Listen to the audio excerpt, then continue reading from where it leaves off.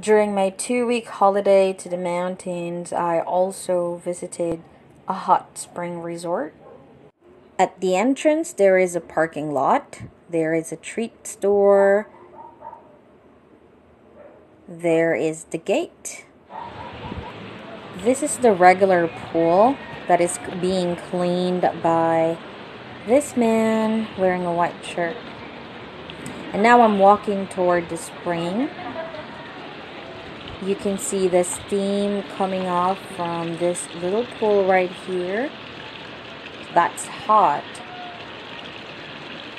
Look at this view. See a lot of trees. This spring resort is in the heart of a jungle. Look at that thick forest. This is such a relaxing place.